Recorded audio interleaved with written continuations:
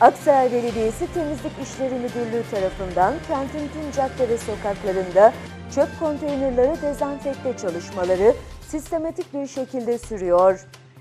48 mahalle ile birlikte tüm cadde ve sokak aralarındaki çöp konteynerlarının kötü kokmaması ve çevrede yaşayan insanları rahatsız etmemesi amacıyla boşaltma işlemiyle genel temizliği ve dezenfektasyonu düzenli olarak yapılmaya devam ediliyor.